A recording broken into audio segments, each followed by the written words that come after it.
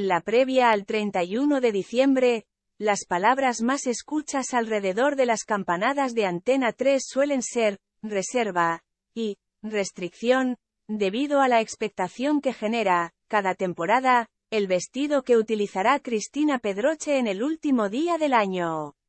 Con la apuesta renovada por la pareja que conforma en los directos junto a Alberto Chicote, poco a poco comenzaron a filtrarse detalles del look que empleará la presentadora, en la noche que elige para brillar en los directos, desde hace una década.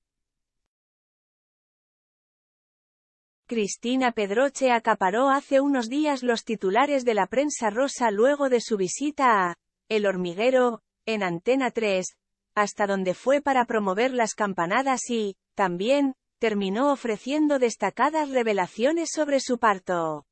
Sucede que la madrileña está conmovida con la maternidad y, llevada por la emoción, compartió algunos pormenores de cómo será su vestuario para esta ocasión tan especial. La audiencia está en vilo ante la creación que cada año concibe Cristina Pedroche junto a su estilista de confianza, Josi.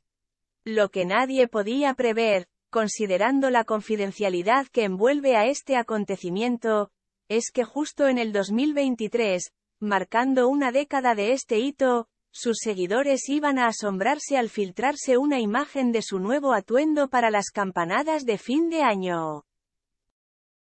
Ya sabían de boca de la propia Cristina Pedroche que el tema elegido para esta oportunidad era la naturaleza. Entonces, a horas de que los españoles degusten las doce uvas, se ha develado el enigma. Se sabe de su compromiso con diversas causas sociales, como ya lo ha demostrado el año pasado, con su atuendo a favor de la paz, que utiliza la semiótica de la moda para enviar mensajes. Cristina Pedroche quiere que sus estilos trasciendan y, este año, el seleccionado ha sido el medio ambiente.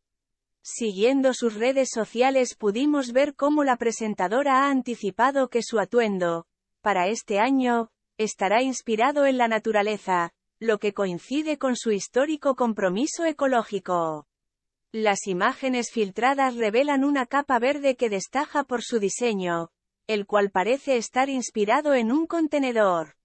Esta elección podría tener un trasfondo significativo relacionado con la reutilización de envases de vidrio.